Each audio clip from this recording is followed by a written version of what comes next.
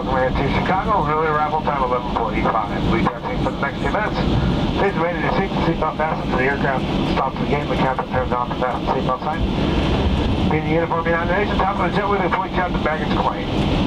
On behalf of all the United employees, the Newark, New Jersey, and Chicago-based in-flight crew, we thank you for choosing United this evening. Wish you pleasant stay here in Chicago, a very safe journey to the city final destination. At this time, you may now use your cell phones. Good night.